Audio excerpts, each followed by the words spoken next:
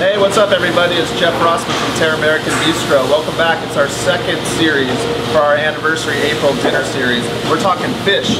This is my local sustainable friend right here. This is the blackgill rockfish. Caught right off of our coast right off here, line caught. So we're talking collars. Fish, fish collars right here. Hey Tommy, come on in man. Let's talk about some fish and some collars. What do you got over here? We got uh, local black cod or rock local black rockfish. This is the fillet here. Very super fatty. Very very cool. It's nice. The skin That's beautiful. up well. Hey, where do the collar, where do the collars come from? This is a great shot. Here's the collar here. It actually comes down into the belly cavity. So you got some of that belly meat in there, some of that fattiness? Oh yeah, and you can see why it's called a black gill rockfish because it's all black gill. Very.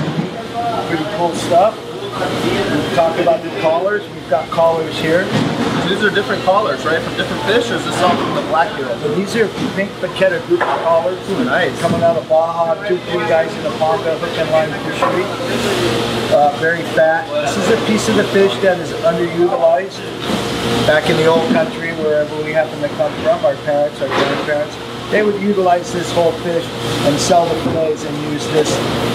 Now, I've tried some of this. This stuff is awesome. It's unbelievable. Oily, fatty, nice, and I don't see very much of it in San Diego. What's up with that? Well, that's what we're trying to do here at Catalina Offshore. Is we're trying to utilize the whole fish with this new whole fish program. I love it, baby. But we got to get the chefs involved, and luckily you and several others are stepping up and having fun with this new product. That's why they call you the fish dude. So we're gonna go do this. This is yellowtail. No, this was the pink grouper, right? That's the pink grouper. Pink grouper. Let's Yep. go cook some of this up. Let's go over the stove. Come on, right on. All right, guys, we're behind the saute pan with the cod collars. We just cut them into two pieces. A little workable, a little easier. We've got a little bit of uh, flaked sea salt. We're gonna sprinkle on some sea salt. We got a little black pepper, just some freshly cracked black pepper. Now, these have been around for a long time in, in Asia and Japan, and they do it with uh, miso. Now, as far as sustainability goes, we're, we're utilizing all the products here, and we're showcasing the, sh- the cod collars right now. So I'm doing a little bit different take on it. It's a honey miso vinaigrette. So what we're gonna do is we're gonna take the cod collars, we're gonna sear them in the pan, then we're gonna throw them in the oven to finish.